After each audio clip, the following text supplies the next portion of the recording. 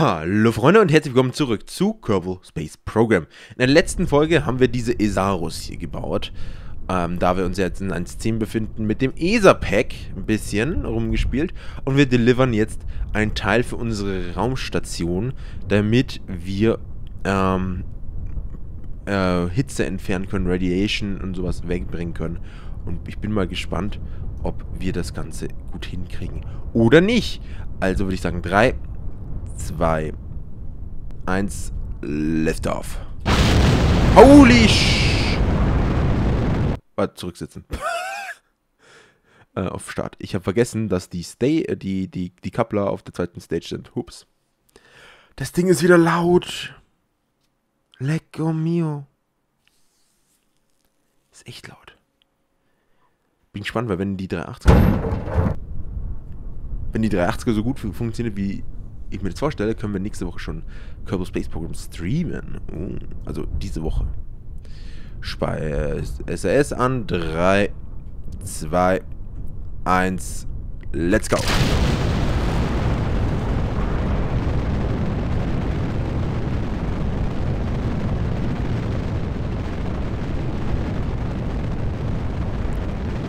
Jetzt hat es irgendwie mehr so realistischen Look, weil die ESA hat ja auch äh, vier teilweise. Ich glaube, die haben sogar auf einer Seite drei. Ich glaube, auf der einen Seite drei und auf der anderen Seite zwei teilweise.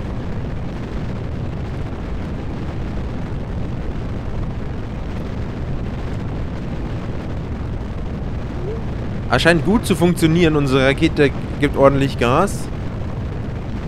Wir sind schon auf 3000 Meter. Hälfte weg bedeutet, wir werden ja hochkommen mit dem ganzen Booster-Zeugs. Dadurch, dass wir mehr an Geschwindigkeit zunehmen als irgendwas anderes.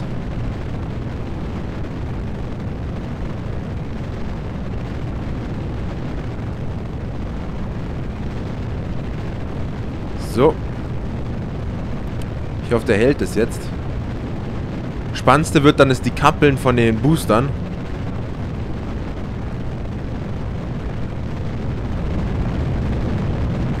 Booster sind alle. Booster sind decoupled. Jawohl, und wir sind safe. Wir gehen in einen 45 Grad Winkel. Stopp, stopp, stopp, stopp, stopp, stopp, stopp. Okay, bitte, bitte, bitte. Ich will nicht nochmal neu starten. Stopp. Alter, what the fuck? Ähm, ich hätte gerne mal Manöver-Notes. Stopp. Ja, gut. Ist halt ein bisschen umständlich als wieder. So, okay, wir gehen auf die 50.000 Kilometer zu. Da unten fliegen unsere, unsere Sachen irgendwo wahrscheinlich rum. Und, ah, schön das Ganze. Ich mag unsere Rakete. Sie funktioniert super. So. Jetzt kommen wir dann auf einen 70 Kilometer Orbit zu. Wir machen uns flacher.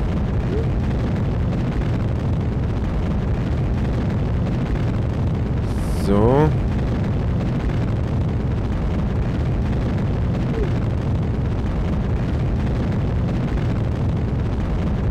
Und einmal ausschalten. Wir haben ja noch ein bisschen Zeit.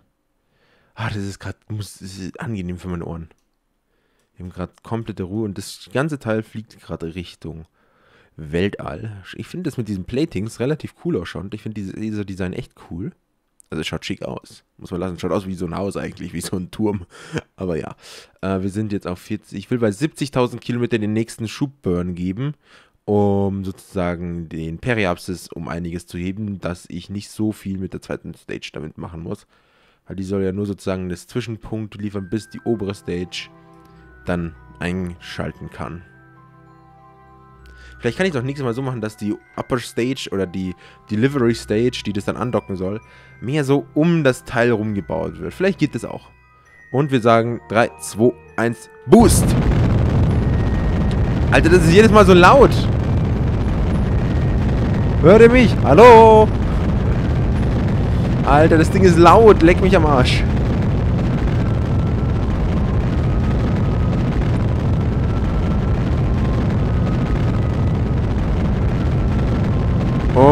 Und Stage ist leer. Die Kappeln in 3, 2, 1. Schub auf 0. Das kann sich jetzt nicht auch besser auf Track halten. So. Langsam auseinander, genau. Schauen wir auf die Karte. Wie weit sind wir aktuell im Periapsis? Okay, wir sind über dem bekloppt 001. Das ist, ja stimmt, das ist unsere drehende Base. Ich würde sagen, wir starten jetzt mit dem nächsten Schub. Tschüss, up und uh, under stage. Wiedersehen. Puh. Wir tun uns ein bisschen mehr nach unten richten. Um, ja, sagen wir mal, den per äh, mehr auf den Periapsis zu gehen. So, warte mal, jetzt sinken wir. Sinkt der Periapsis wieder. Das wollen wir ein bisschen verhindern doch noch. So. Aber der Periapsis, also der Apoapsis ist gesunken. Der Periapsis steigt auch jetzt mittlerweile. So, wir gehen wieder nach unten. Und zack. Perfekt. So wollen wir das. Jetzt würde ich sagen, tun wir mal hier oben schön das Ding entfalten. Klach. Und schalten hier die Antennen an. Antenne ausfahren. Sonst verlieren wir noch Kontakt. Das wäre ein bisschen blöd. So. Das also, wir haben jetzt im Grunde, das hier soll am Ende nur noch docken, das hier soll angedockt werden. Durchgang, damit sie auch wirklich, weißt du, wenn wir mit Raketen kommen, wieder andocken können und rüber marschieren, ähm, ist für mich ganz, ganz wichtig, dass das funktioniert. Und natürlich soll hiermit dann die Hitze entfernt werden. Ich hoffe damit, dass wir die Radiation an der ganzen Station auch ein bisschen reduzieren können. Weil ich muss herausfinden, wie wir später, also wo, wo wir uns wahrscheinlich alle einig sein können, wir müssen herausfinden, wie wir Kerbals nach Duna kriegen. Wo wir natürlich viel Radiation ausgesetzt sind am Ende. Bedeutet, wir müssen irgendwie die Radiation shielden. Ich weiß nicht, wie in Kerbalism das geht. Also in Kerbalism halt, ne? Ähm, weil normal KSP muss ich mir darum keine Sorgen machen. Da funktioniert das von alleine. Aber wir werden das schon herausfinden. So, warte mal, wie war das jetzt? Ich muss einmal zack und zack, ne? Das war irgendwie so. Moon Peraps auf 11.000, das passt eigentlich schon ganz gut. Ich mache jetzt mal einen Save Point, ne? Spiel wird gespeichert unter vor Mann Way, ich nenne es vor, vor Mann Way, speichern. Ich habe keinen Plan, wie es gerade nennen soll. Ähm, wir tun es jetzt ausrichten und machen uns dann direkt mal auf den Weg Richtung, wo sind wir? Wir sind hier. Ja, müssen wir noch ein bisschen einen, einen kleinen Flug einlegen, du, ne? 864... Hallo. Ähm, 864 Meter pro Sekunde brauchen wir, um diesen Burn zu machen. Ist nicht effizient. Wir haben die, die Mannstation eindeutig an der falschen Position platziert. War vielleicht von mir ein bisschen dumm. Ähm, aber ist ja auch nicht schlimm jetzt. Jetzt ist es zu spät, um zu meckern. Hier vorspulen.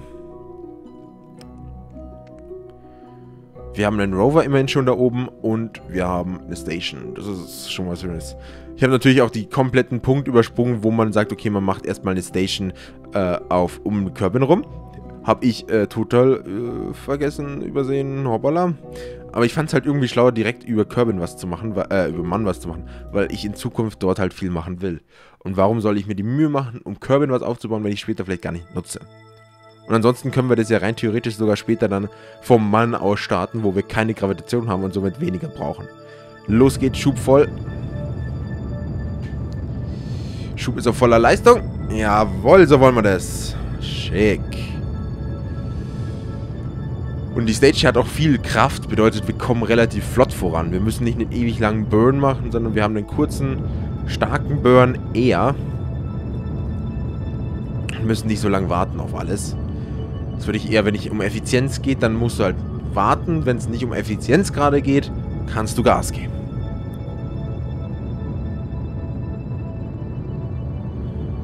So, warte mal. Bisschen slower jetzt.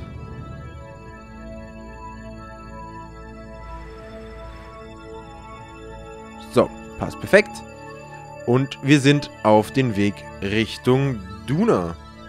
Eigentlich wäre das kein blöder Zeitpunkt, um die Station, äh, um die, um den Ding abzudocken, weil wir sehen schon, also das machen wir danach, glaube ich eher, weil wenn wir dann hier sind, der dockt ab und fliegt wieder zurück in Kerbin rein. Wir haben keinen Müll im Weltraum.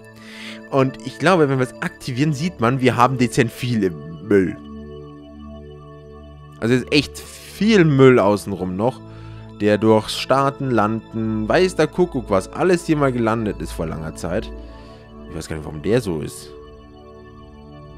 das, ach, das war wahrscheinlich eine alte First Minmus Ländertrümmer. Ach, das war wahrscheinlich Zurückflug. Ah, okay. Aber man sieht, wir haben 43 Trümmerteile allein hier rumfliegen. Vielleicht nicht teilweise so gut. Das, drunter sind natürlich auch alte Raketen von uns. Hier vorspulen. Wie schaut es mit der Energie bei unserer Rakete aus? 96%, 6 Tage haltend. Natürlich noch weiter vorspulen. Wir machen diese Mission in der heutigen Folge gleich sogar durch. Wir sind relativ gut dabei. Und wir haben wieder über unsere Station, wie es ausschaut, nee, über den Satelliten haben wir es hier, über den Rex Klamper V1. Nee, wir haben es über die Station. Verbindung steht über die Station, auch cool. Das finde ich cool, dass er jetzt wirklich sagt, okay, wir haben zwar direkte Verbindung so, aber es ist besser für mich so, also mache ich es so. Geil. Echt cool. Finde ich mega cool. So, und jetzt hoffen wir mal, dass ich mich in die richtige Richtung entschieden habe. Ansonsten zurück. Hierher vorspulen. Bitte, bitte, bitte, bitte, bitte, bitte, bitte, bitte, bitte, bitte, bitte, bitte, bitte, bitte, bitte, bitte. Ich fliege in die Richtung. Ich. Ja, ja, ja, ja, ja, ja. Gut, okay. Hierher vorspulen. Genau, warte mal. Ich wollte, ja. Das sollte ich vielleicht machen, bevor ich irgendwas anderes mache. Mich seitlich von meiner Flugbahn legen. Hier auf X. Und jetzt hat...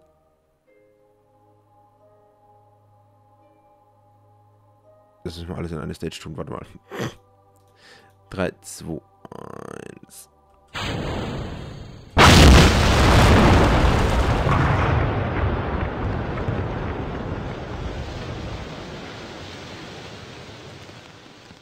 Das äh, war laut. Sehr, sehr laut. Aber wir haben das abgedockt. Das sollte jetzt langsam dann sich auf den Weg Richtung... Oh, guck mal, da ist die Sonne. Wieder zurück auf den Weg Richtung du, äh, Kerbin machen. Ich wollte Duna sagen, warum auch immer Duna. Ich bin so im Duna-Modus einfach.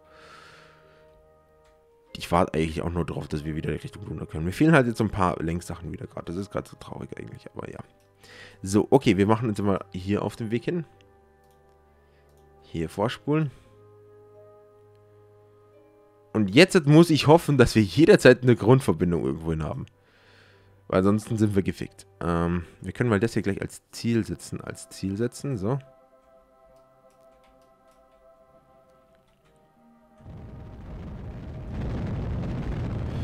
Aber ah, ich freue mich schon, wenn ich mein Teil gebaut habe.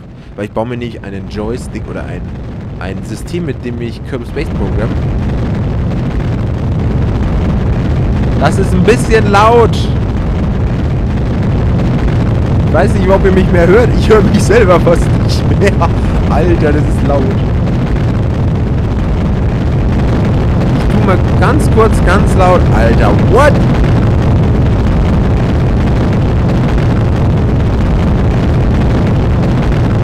What the actual freak passiert hier gerade? Ich höre fast nichts mehr. Hallo? ich höre nichts.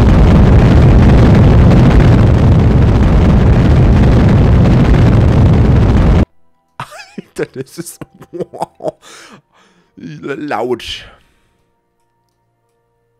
Ist das? Sind die Trümmer. Die fliegen da vorbei. Tschüss, auf Wiedersehen. Und hier unten irgendwo fliegt die Station noch rum. So, dann machen wir mal Manöver hinzufügen. Erstens müssen wir uns ausrichten, dass wir auf dieselbe Flugbahn kommen. Nee, andere Richtung.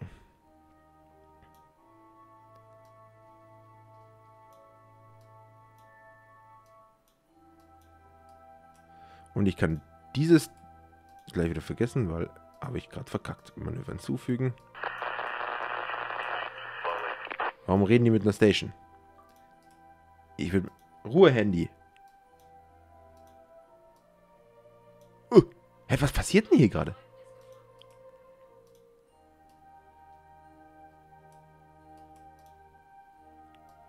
Hä? Was?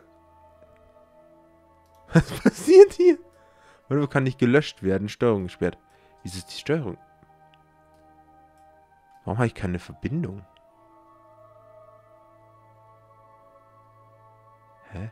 Kein Signal? Hier steht aber, ich hätte Signal.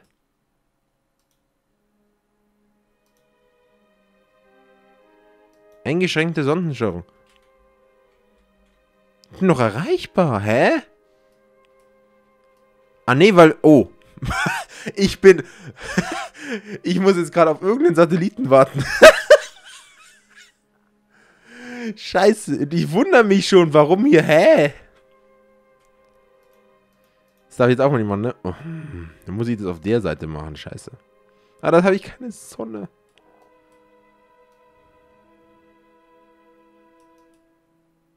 Ich spule mir ein bisschen vor. Vielleicht kriegen wir irgendwo eine Verbindung hier.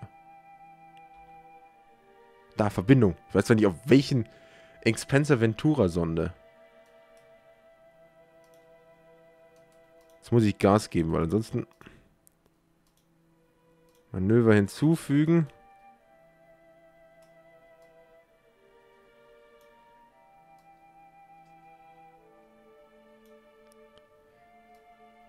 Ich will ja nur mal ausrichten, circa, dass das passt. So, genau. Ähm, nur ein bisschen Schub geben, schnell. Nur ein bisschen Schub.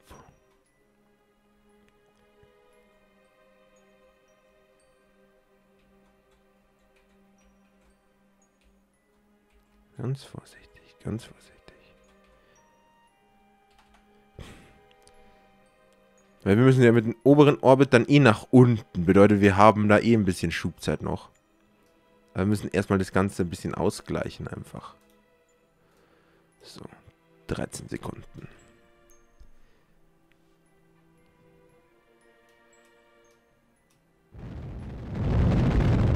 Es wird schon wieder so verdammt laut.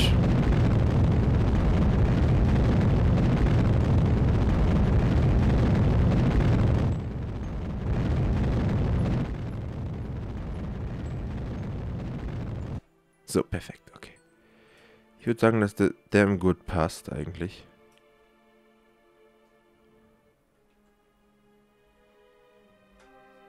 Jetzt passt er noch besser. So. Und jetzt hat Manöver hinzufügen. Verkleinern des Orbits. Ups, das war ein bisschen zu stark.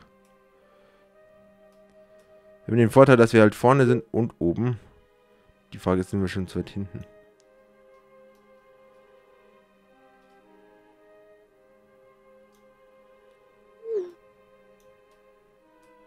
Habe ich wieder irgendeine Taste gedrückt. Ah, Mann!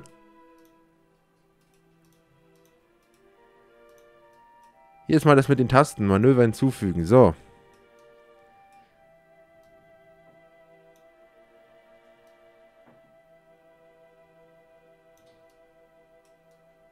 So halt, wäre es halt supi, aber... Mh. Hm. Da crash ich da vorne in den Boden. Ich versuche jetzt einfach mal einen Intercept zu erstellen. Und dann machen wir Runde dazu. Dann sehen wir hier ist sehr nah dran. Okay, warum ist er jetzt da zum Beispiel weg? Achso, weil er hier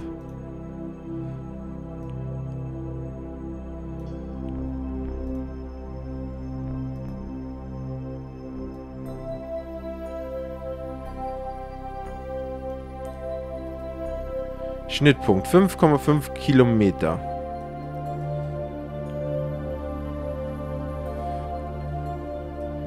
Alter, die Musik hat auch wieder heute... Also heute muss ich gleich keine Musik ansetzen, weil hier ist ja so viel Musik heute. Hört, was jetzt passiert.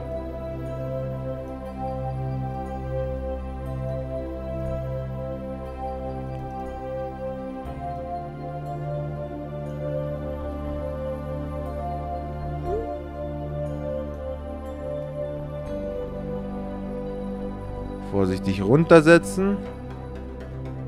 Alter, also, ich muss dich mal kurz umstellen. Alter, das Spiel ist so laut.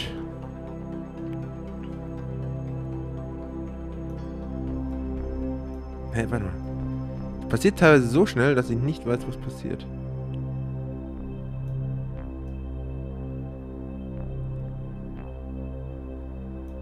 So. Drei Kilometer, das schaut gut aus. Dann müssen wir genau dorthin. Hier vorspulen.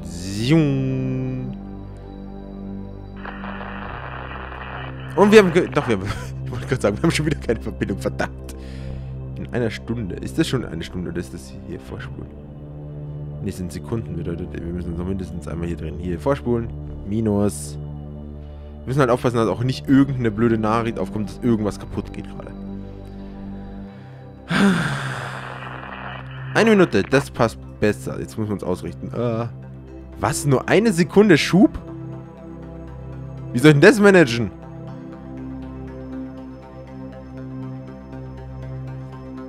So perfekt bin ich auch nicht. Ich bin kein Roboter.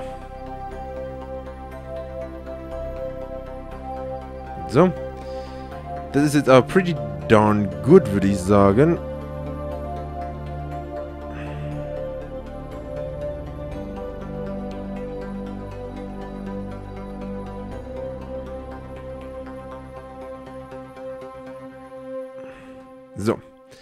Okay, ähm...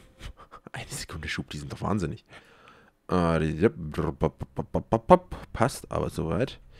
Die Station ist da hinten, okay. 30 Sekunden bis Schubpunkt.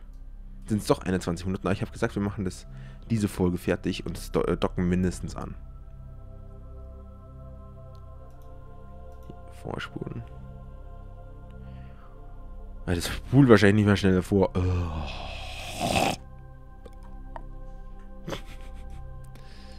Regt mich das auf so ein bisschen. Bei 5 Sekunden sollten wir Schub starten.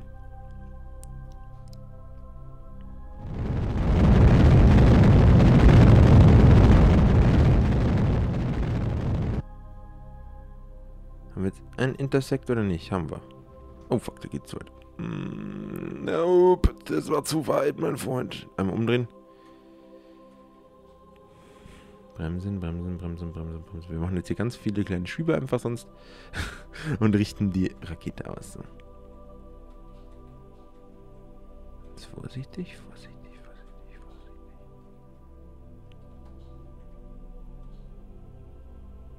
Perfekt. Jetzt sind wir auf dem Weg hier hin und jetzt können wir sonst hier noch Manöver hinzufügen.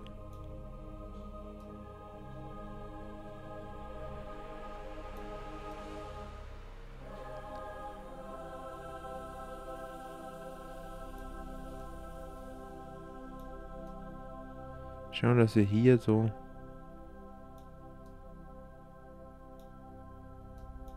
Ich weiß gar nicht, was das Problem dabei ist, dass diese...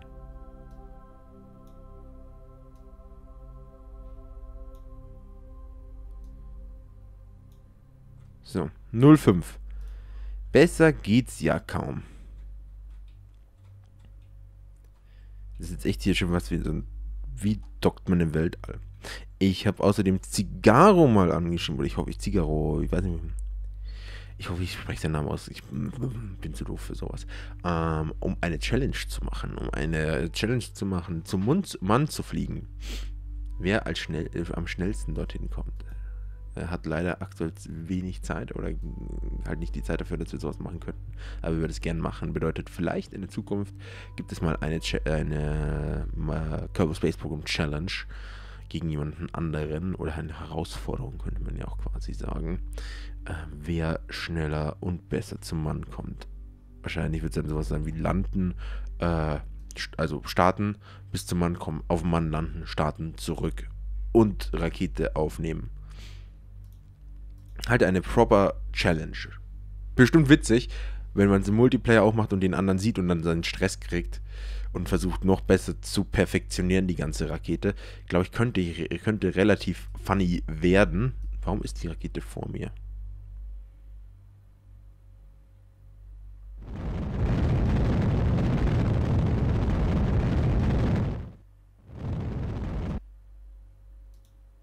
Sollte noch besser geworden sein, oder? Ja, das schaut gut aus. Oh, oh da sehen wir nichts. Das ist ja unfair, ey. Hier, vorspulen. Ich sehe da nichts, da sieht man nichts, da kann ich nichts machen. Was war das jetzt? Irgendwas kaputt gegangen? Was ist das? Nee, warte mal, das ist der Mann Rover Alpha. Das war nicht mein Plan. Mann Station 1. Ah. 600 Meter? Mir hat keiner gesagt, dass du so schnell vorbeikommst. Warte.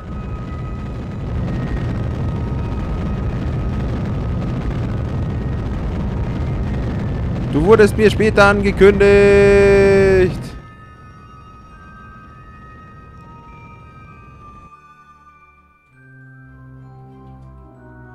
Ich habe irgendwie zu viel. Also ich hätte das auch anders timen können. Wo ist denn jetzt? Hallo? Ah, guck mal, das wird jetzt alles enger. Cool. Also ich richte mich jetzt mal...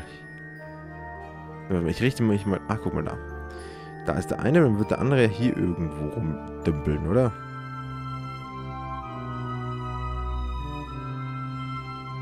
Ich würde das nicht gerne alles in der Sonne machen, dann sehe ich nicht, was ich überhaupt mache.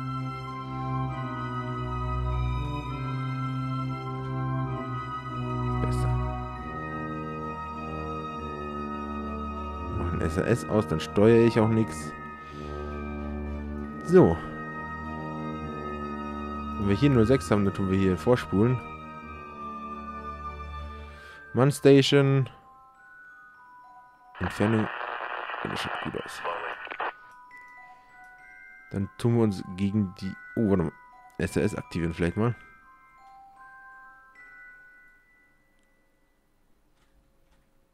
Ich habe keine Steuerung mehr. Grütze, fix, das gibt's doch gar nicht.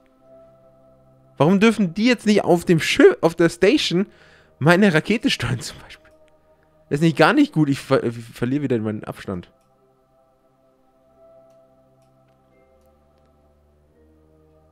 Also für Future Miss... Oh Gott, das gibt mir jetzt tierisch auf den Sack wieder. Jetzt muss ich also hier vorspulen wahrscheinlich, bis ich eine angenehme 1000 Meter Abstand wieder. Geil. Geil, geil, geil, geil. Mega geil. Wo ist die Station? Da vorne ist.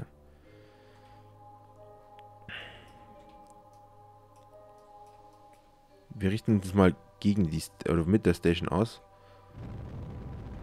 Versuchen... auf sie zuzufliegen mit ein paar Kammer. Wir drehen uns gleich mal gegen. Ja, das wird eine lange Folge heute. Aber wir machen das heute together. Lösen wir das Rätsel um diese Station.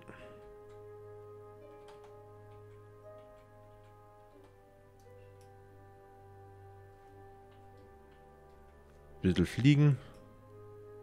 Da kommt die Erde zum Vorschein. Ach, wie schön.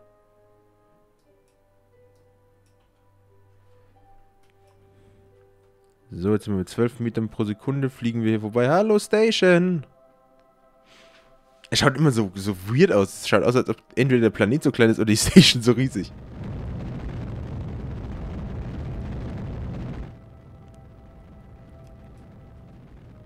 Jetzt machen wir hier die Station proud.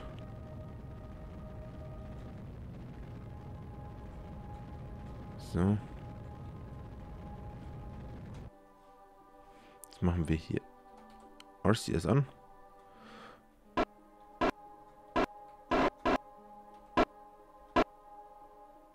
Perfekt, jetzt machen wir nochmal das aus. Das Problem ist ja, dass ich sozusagen jetzt alles handsteuern muss. Muss ich wieder herausfinden, welche Richtung diese scheiß Rakete ist. Mal da.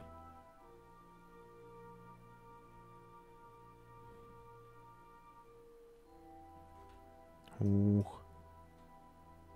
Mal gucken wir unten. Das ist Retro Stage. Ich weiß auch nicht, warum die Geschwindigkeit immer wieder zunimmt. Eigentlich dürfte es gar nicht sein. So, warte mal. Jetzt muss ich mich konzentrieren, damit ja kein Fehler mehr unterläuft. Concentrating.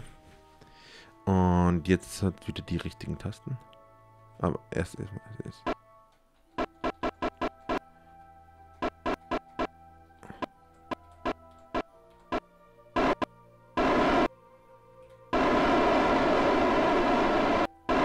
Falsche Richtung. Prograde natürlich.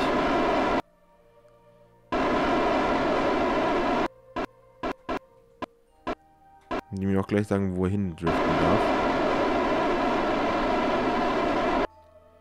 2,5 Meter pro Sekunde ist nicht ganz schön schnell eigentlich, wenn du es überlegst. Eine Sekunde 2,5... Oh, Menschengeschwindigkeit wahrscheinlich. Machen wir mal 4 Meter pro Sekunde.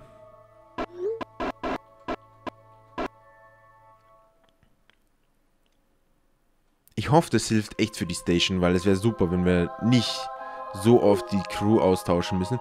Ist jetzt zwar nicht schlimm, weißt schon, Crew hin oder her, aber es nervt halt, wenn du auf, dein, auf, de, auf das Flugfenster nach, nach zum, zu Duna wartest, ne? Mhm, aber ja. Wir werden auch mal vielleicht bald mal wieder eine Mann-Landing durchführen. Und zwar an den Polen, was eine ganz interessante Flugbahn ergeben wird. Und auch mal eine ganz neue Flugbahn, eher gesagt. So. Nur noch 290 Meter. Ich höre trotzdem nochmal. Bei 100 werde ich bremsen anfangen, circa. Das sollte gut funktionieren, denke ich. Und vor allem ist es jetzt so schön ruhig.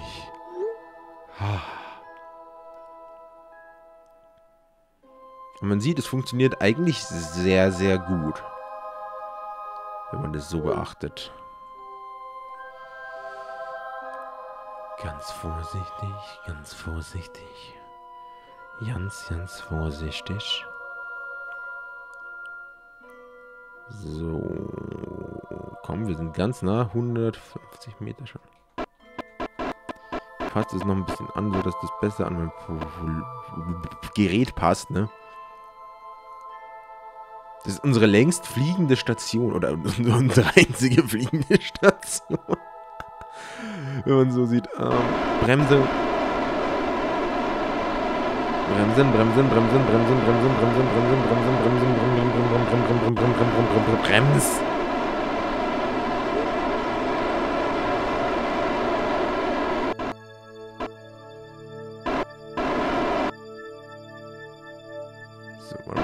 bisschen.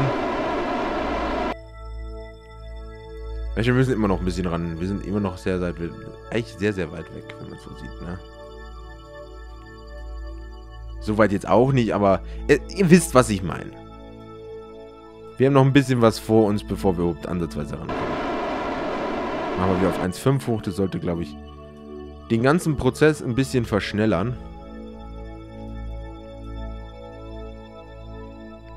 Ich bin zwar ein geduldiger Mensch, aber bei sowas irgendwie dann doch immer wieder nicht was es nicht unbedingt praktisch macht. So, und jetzt voll bremsen.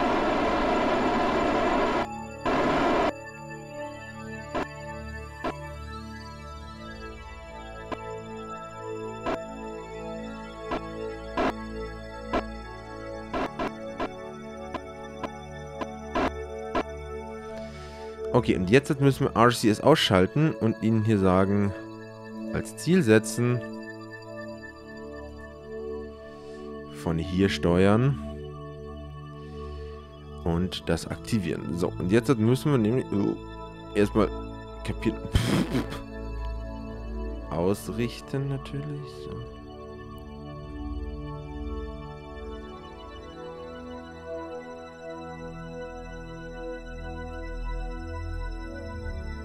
Ganze Rakete so ausrichten, dass das Ihr wollt so rum, oder was?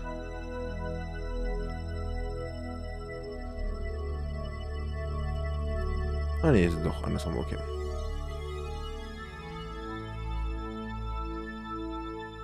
Stopp, nicht so viel drehen, Herrgottszeiten.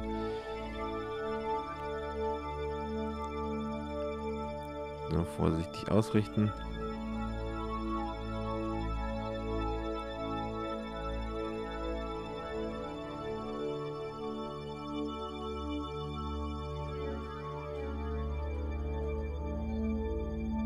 Vorsichtig.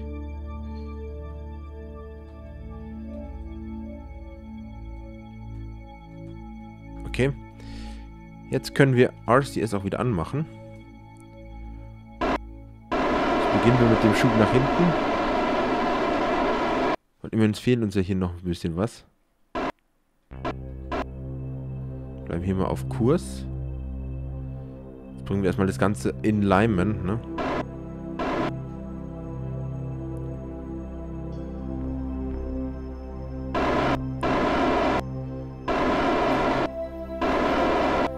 Fuck, das war die falsche Richtung. Uah!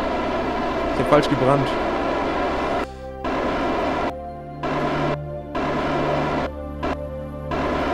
Bin auf 5 Meter wieder dran, so circa. Ja, bin ich doof? Ja, sowas von.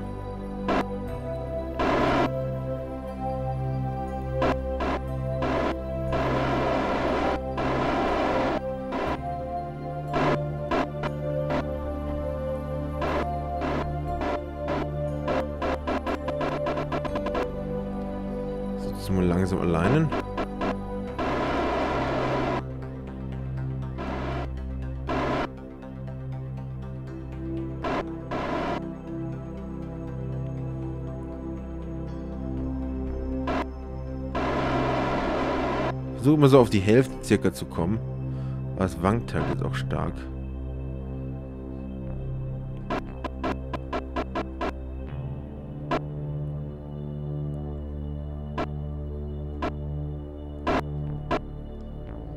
Was nicht unbedingt auch leicht macht gerade.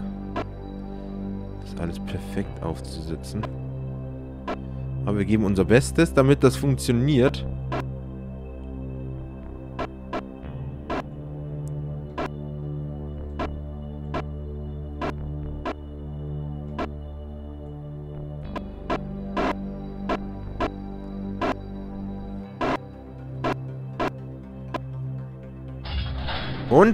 Angedockt. Jawoll. Wir sind da. Und somit tun wir jetzt hier die Kühlmodule hochfahren. Zack. Und zack. Kühlung bei 10%. Nominell, nominell, nominell. Die fahren auch alle aus. 10% Kühlung. Aber die Radiation hat es nicht irgendwie wirklich gesenkt, habe ich das Gefühl. Hm. Komisch, komisch, komisch.